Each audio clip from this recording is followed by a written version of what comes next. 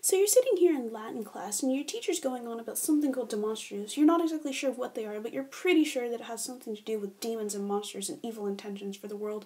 So anyway, as your teacher's talking, your mind starts to wander naturally about other things that are more interesting, and pretty soon you're writing this story in your mind about the samurai who can't fall in love because his sword keeps deflecting arrows from Cupid.